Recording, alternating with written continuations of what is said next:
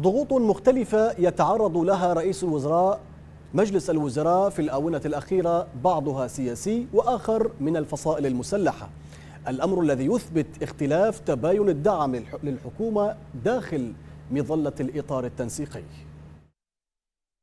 رسائل وتلويحات مستمرة من قوى سياسية وحركات مسلحة تشكك بعمل ومساعي الحكومة الحالية تارة وتمهلها الفرصة الأخيرة تارة أخرى.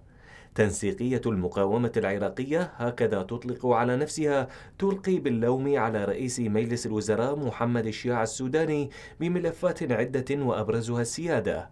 كخطوة عدها كثيرون بالضغط السياسي من أطراف معينة. هذه الرسائل تؤكد للسيد السوداني أن محور المقاومة عندما يرسل هذه الرسائل يريد من الحكومة التي يرأسها السوداني الالتزام بالاتفاقات التي حصلت قبل تشكيل الحكومة. ليس كل الأطراف التي تجتمع تحت مظلة الإطار التنسيقي تتعامل بنفس المسافة مع السوداني فمنها ما زالت متحفظة إزاء تحركاته وأخرى تنتقد مواقفه من خلال حركات وأجنحة مسلحة مرتبطة بها. هنالك تصعيد.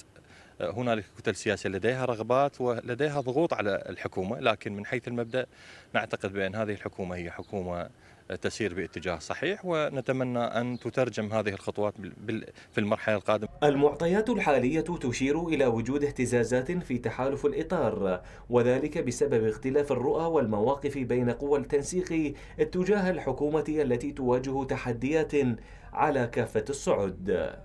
بطرق غير مباشرة تبعث بعض القوى السياسية رسائلها لرئيس الحكومة محمد الشياع السوداني للتحرك إزاء ملفات بعينها وغض الطرف عن ملفات أخرى تتعلق بالفساد المالي والسياسي.